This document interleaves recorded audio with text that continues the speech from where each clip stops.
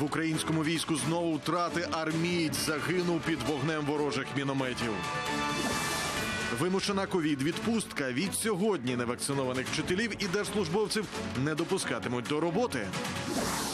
Ветеран, волонтер і Вільям, як атовці грають Шекспіра англійською.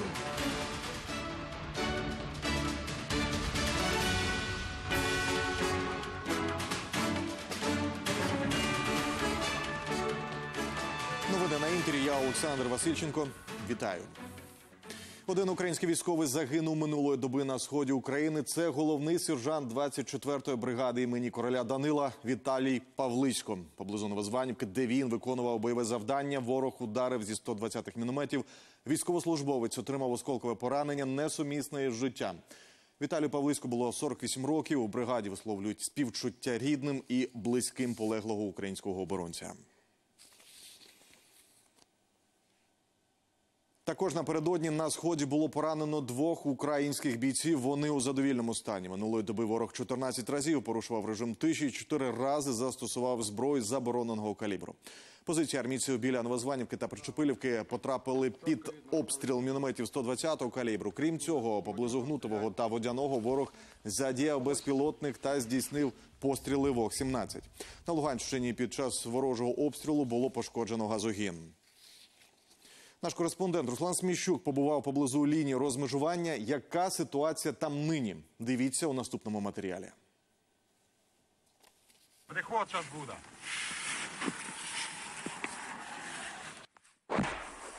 Десь ближче, так? Да? Передові армійські позиції неподалік Катеринівки, що на Луганщині, навпроти окупований Первомайськ. Звідти і стріляють. А ще поряд пункт пропуску на непідконтрольну територію Золоте. Ось так виглядає черговий мінометний обстріл, так би мовити, із середини.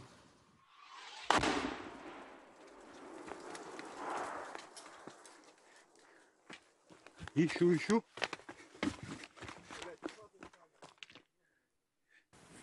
Приход.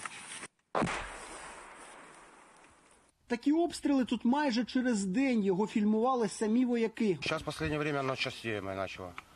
Э, И до этого были обстрелы, и там вон сни- были мины, и вон провод нам перебили, ну, свет, то мы делали сами. Ну, они сейчас постоянно начали активизироваться, и помки закидывают, и стрелкотня, и другую позицию там мы поджигали ее. Часто, майже щоразу таким обстрілам передує поява ворожих дронів, розвідників та коригувальників. Взлетел беспилотник, мы начали, спросили, чей беспилотник, нам сказали, что э, вражеский беспилотник. Мы начали с- сбивать, пытаться его, начали нас обстреливать здесь 120-ми минами. А це вже територія розведення біля пункту пропуску Золоте. Уперше за багато місяців навіть цей порівняно стабільний напрямок став мішенню. Було зафіксовано вісім- 19 прильотів мін калібру 82 мм, в тому числі було пошкоджено фортифікаційні споруди прикриття КПВВ «Золоте». Три міни було е, зафіксовано влучання на території КПВВ. А це Лопаскине, невелике селище під непідконтрольним Слов'яно-Сербськом, що на березі Сіверського дінця, вздовж якого проходить лінія фронту. Останні три роки тут було тихо. Так, е, з безпілотника нас е, фотографували та розвідували інформацію, де знаходиться техніка, де знаходиться ну, особовий склад, де КСП. І також е, були спроби збросити саморобні вибухові речовини. Тож тепер тут підсилили позиції та укріплення із зони проведення операції об'єднаних сил. Руслан Смичук, Вадим Равун та Ігор Щепет, телеканал Інтер. Сьогодні у Нідерландах відбудеться чергове судове засідання у справі про збиття літака рейсу Мет-17. Словом матимуть родичі загиблих. Раніше планували, що 15-16 листопада із обвинувальним висновком виступить прокуратура. Проте цю дату змістили, бо суд таки хоче опитати як свідка Сергія Мучкаєва, який влітку 2014 року командував 53-ю зенітною ракетною бригадою, що базується у Курську. Крайньою датою для цього суд встановив 10 лютого 2022 року.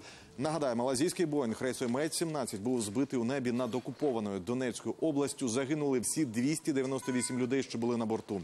Міжнародна слідча група встановила, що літак збила установка БУК, яка належить 53-й бригаді з міста Курська в Російській Федерації. Понад 13 тисяч нових випадків коронавірусу діагностували в Україні минулої доби. Такі дані МОЗу. 473 людини померли, одужали більше 8 тисяч. За останню добу найбільше нових випадків в Одеській, Харківській та Дніпропетровській областях. Минулої доби вакцинувалися понад 85 тисяч українців. Волинська область сьогодні опівночі опинилася у червоній зоні карантину. Відповідне рішення ухвалила Державна комісія з техногенно-екологічної безпеки та надзвичайних ситуацій. У регіоні перевищені ознаки епідемічної небезпеки за двома показниками: кількістю госпіталізованих пацієнтів з COVID-19 і підозрою на неї, а також завантаженістю ліжок, забезпечених подачею медичного кисню. Отож, відтепер на Волині діють найсуворіші правила карантину, зокрема й обов'язкові ковід-сертифікати або негативний тест на коронавірус для проїзду у міському та внутрішньообласному транспорті.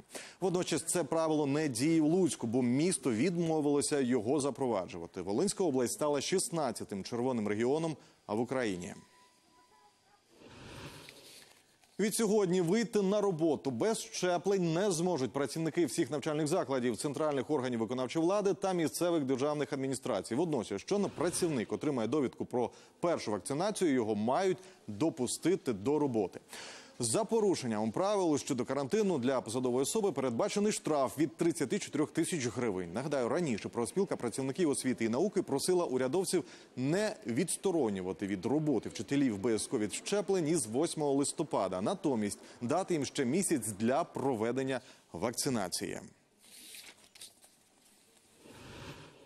В Ужгороді мобільний пункт вакцинації розгорнули на церковному подвір'ї. Одразу після служби віряни могли щепитися. При цьому можна було обрати якою саме вакциною. Нагадаю, в області найменша кількість вакцинованих із усіх регіонів України. У греко-католицькому кафедральному соборі Ужгорода саме завершується служба Божа. Якщо хтось хоче, верніше, з'явить бажання вакцинуватися, підкаже, яка вакцина вам підходить, яка ні. Просто біля собору мобільний пункт щеплення проти коронавірусу. Охочим пропонують вакцини на вибір. Анжеліка прийшла сюди одразу після служби у храмі. Каже, давно планувала імунізуватися, та часу бракувало. І от після причастя щепилася дозою Файзера. Все чудово. Ні, не боюся. Я навіть не відчула. біля нас, добре? Ага. Ну, Я налаштовувалася. Це якби таким стало більшим поштовхом. Маємо дві вакцини: Pfizer і CoronaVac наразі. Люди виходять, консультуються. Закарпаття за темпами вакцинації проти коронавірусу пасе задніх. Причини відмови у всіх різні. Відмова основна це йде е, ці фейки, які поширені у Фейсбуці. На жаль, доводиться їх розвінчувати. Ми бачимо, що деякі конфесії не підтримують щеплення, це дуже боляче, тому що люди помирають незалежно від віросповідання. Греко-католицькі священники вакцинацію підтримують. кажуть, щепитися не гріх. Це не є ніч протипоказано християнській етиці, розумієте? Наоборот, щоб е, вся здорові були. Церква до вакцинації відноситься позитивно. В Ужгородському кафедральному соборі 98 зі 100 працівників імунізувалися. Я задоволена, головне, щоб люди були здорові. Добре, що таке е, вже знайшли такий спосіб, що спасають людей як можуть. У дворі Ужгородського кафедрального собору за день щепили майже півсотні вірян. А медики та чиновники Закарпаття планують продовжити акцію в інших храмах краю. Марина Глущенко, Мар'яна Мартин, Юрій Ковальов, телеканал Інтер, Закарпатська область. Два тижні зволікань під Києвом. В результаті зіткнення двох легковиків загинув 37-річний батько двох дітей. Його дружина і дітлахи відбулися ушкодженнями різного ступеня тяжкості. Водій автомобіля Мерседес не постраждав. Що трапилося на трасі та чому винні досі не притягнуті до відповідальності? Марічка Мельник розкаже. Звичайна поїздка до батьків стала трагічною. Того злощасного вечора неподалік Києва біля села Єрківці водій автомобіля марки «Нісан» зіткнувся з автомобілем «Мерседес». Керманич першого авто, 37-річний Антон Луцик, загинув на місці. Його дружина та двоє неповнолітніх дітей отримали травми різного ступеня тяжкості. Після цього удару нас дуже два рази перевертало машиною. Коли ми вже зупинилися, на колеса стали, дивлюся, що немає мого чоловіка. Я Антон, Антон кричу, його він не відзивається. Діти почали кричати, значить, думаю, живі, хоч машини зупинялися, хоч хтось мені поміг. Той водій з тої сторони нічого не підійшов. По цей день. Водій Мерседеса Олесь Продивус в автокатастрофі не постраждав. Винним він себе не вважає. На будь-які звинувачення з іншої сторони реагує емоційно. Я телефонував і швидкі, і МЧС, і міліції, і навіть є людина, з якою я телефонував швидку і викликав до Нісана. Я був біля Нісана і біля людини. Я сам ще просто дуже сильно в шоковому стані. Це занадто важка ситуація і для мене, і морально. З моменту аварії пройшло більше двох тижнів, проте слідство з місця поки не зрушило. Ольга побоюється, що справу можуть закрити і винних так і не покарають. Я знаю, я впевнена, що мій чоловік не винний. Я хочу захистити його честь. Я боюся, що це затягується. Можливо. Ну, з- я думаю, що вже б щось робилося, або якісь дії були б. Не знаю я. Мій аналіз е, свідчить про те, що саме е, дії виїзд автомобіля Мерседес відбувся на смугу руху автомобіля, в якому знаходився загиблий, і е, моя клієнтка потерпіла. Наша позиція це прохання слідства прокуратури провести об'єктивне розслідування, тому що е, пройшло вже досить часу. У прокуратурі затримку слідства пов'язують зі збільшенням дорожньо-транспортних пригод. Деякі деталі справи вже встановлені, проте їх замало, аби повідомляти про підозру. Нам наразі відомо, що жоден із водіїв не вживав алкоголь, а також те, що е, на даний час, за попередніми даними, е, і водій першої і другої автівки мав певні перевищення швидкості, але незначні. Тривають експертизи для встановлення технічного стану автомобілів, дослідження усіх деталей. Ну і по результатам вже цих подій ми будемо мати наслідки, хто саме е, спричинив дане ДТП і хто був винуватцем. Наразі відкрито кримінальне провадження. А поки слідство встановлює деталі автотрощі, родина Луциків потихеньку звикає до нового життя. У родини залишилося двоє дітей двох та десяти років. Менший і досі чекає папу дома. Папа? Да. Точно папа. А вони? Марічка Мельник, Юрій Романюк. Новини телеканал Інтер. До справи українських туристів, що застрягли в Анталії через самогубство учасника групи, взялося МЗС. Консульство надає консультації, а також просить місцеву владу якнайшвидше розслідувати цей випадок та дозволити людям повернутися на батьківщину. Група відпочивальників, які в середині жовтня вирушили в похід лікійською стежкою, досі залишаються в Туреччині. Під час подорожі загинув українець. Головна версія він вкоротив собі віку. За рішенням суду до завершення всіх слідчих дій решті групи заборонено виїжджати з країни.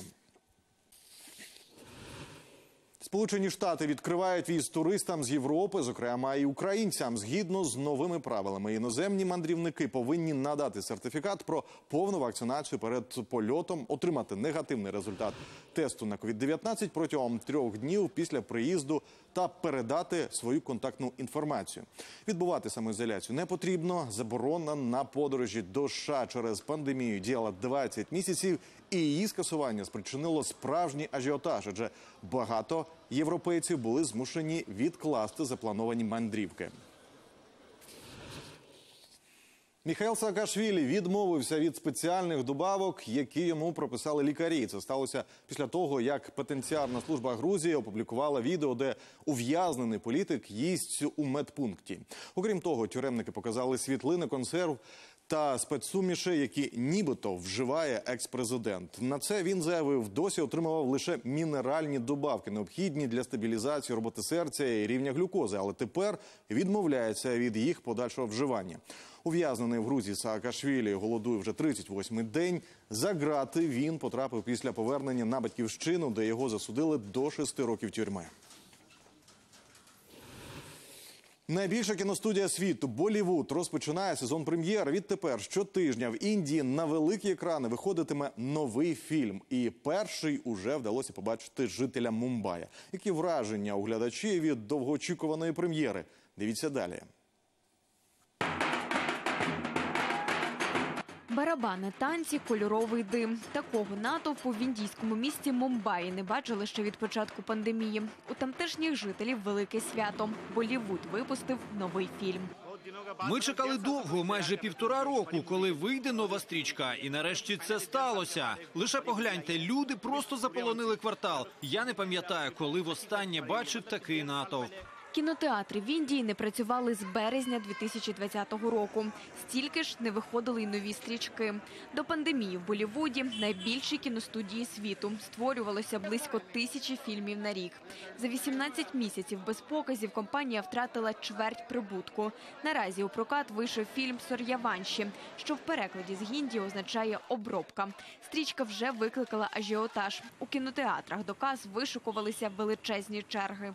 Я дуже схвильований. Сам не місцевий їхав сюди понад 100 кілометрів, аби побачити нову стрічку. Усе тому, що радість і атмосфера від перегляду фільму тут, у кінотеатрі, це щось інше, відмінне від перегляду вдома. Аби ще більше привернути увагу до індустрії, самі кінотеатри перетворюють на розвагу.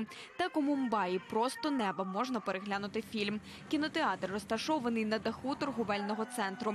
Потрапити сюди можна на автомобілі. Така розважальна стоянка вміщує 290 машин. Я приїхав у кінотеатр зі своєю дружиною та рідними. Наступного разу приїдемо з нашими друзями. Тут можна побачити гарний фільм і смачно поїсти. А що іще потрібно для приємного вечора? На відкриття кінотеатрів в Індії чекали з особливим трепетом, адже до ковідних часів близько 14 мільйонів жителів країни щодня ходили в кіно.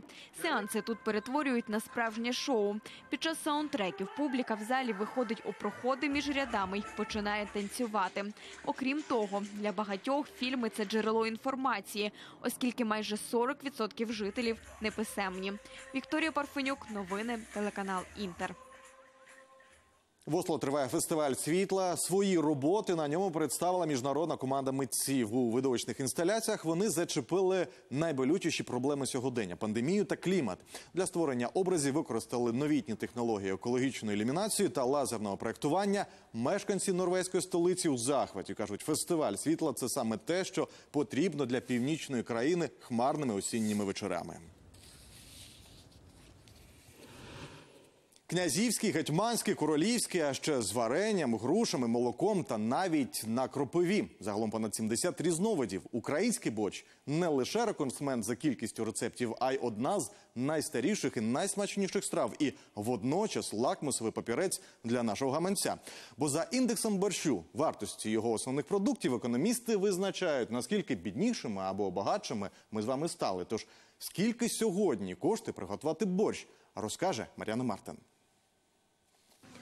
100 гривень. Скільки всього можна було купити на цю суму у часи моєї юності? На хвилиночку такою була мінімальна зарплата у 2000 році. А якщо бути точнішою, то тоді вона складала 90 гривень. Цікаво, чи вкладуся я у суму, якою колись годували сім'ї, аби нині купити банальний борщовий набір.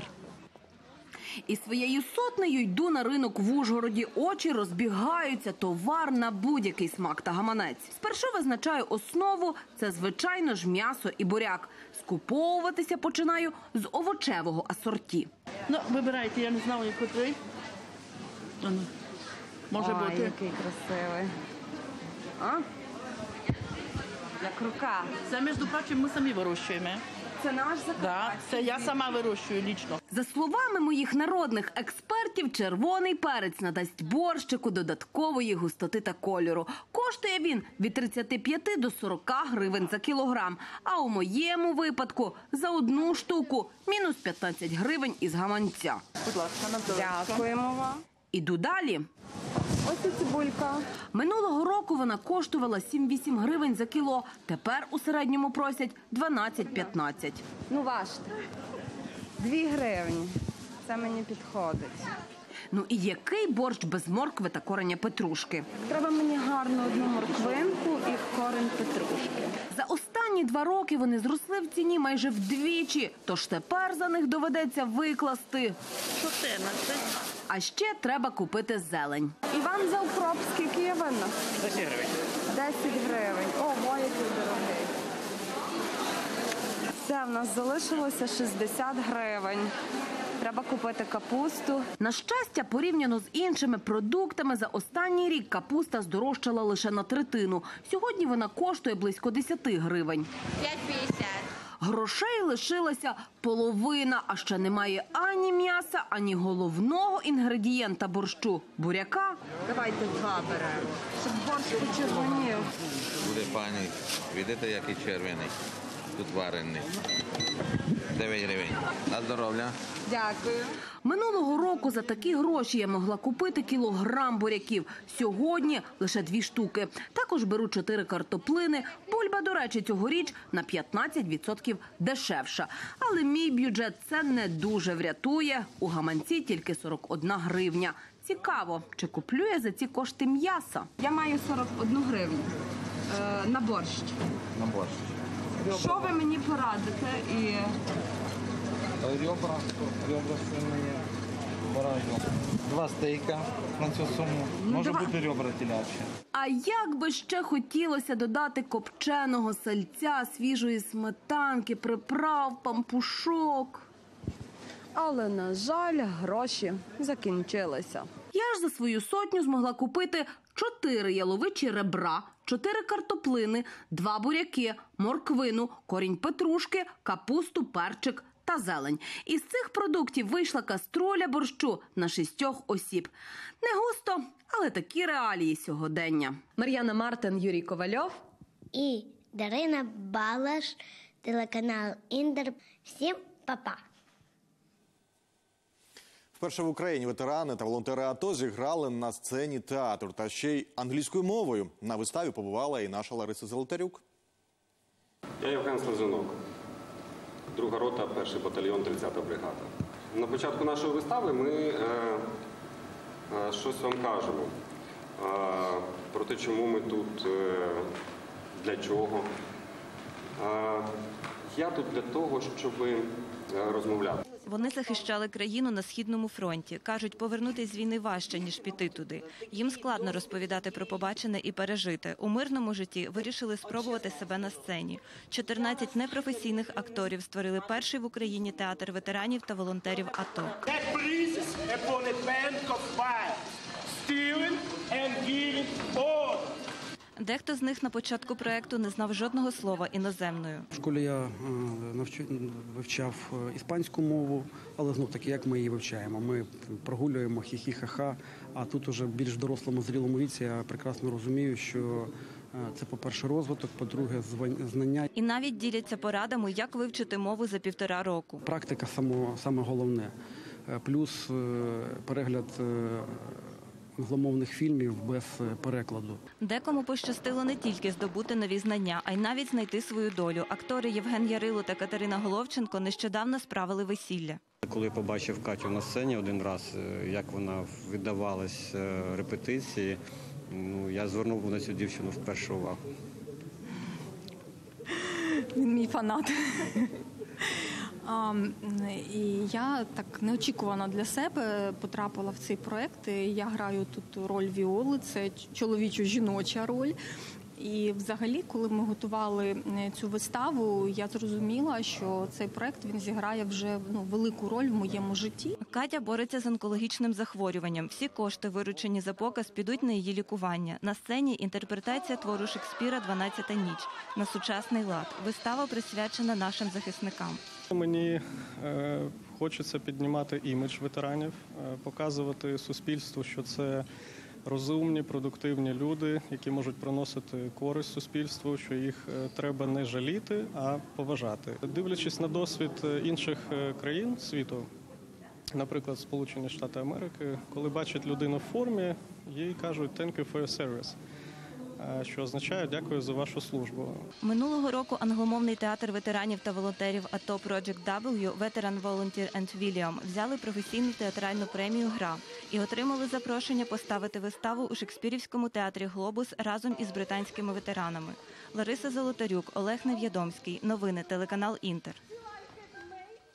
Китайські астронавти вперше вийшли у відкритий космос з власної орбітальної станції. Поза її межами працювали командир місії До Джай та його заступниця Ван Япін. Вона стала першою жінкою з КНР, що здійснила таку роботу. Усі маніпуляції тривали близько шести з половиною годин.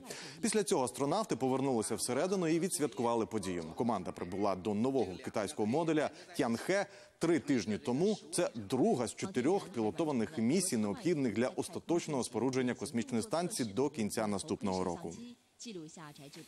На цьому у нас поки що все. Перші підсумки дня дивіться вже о 17.40. Вдалого понеділка. До зустрічі завтра на інтері.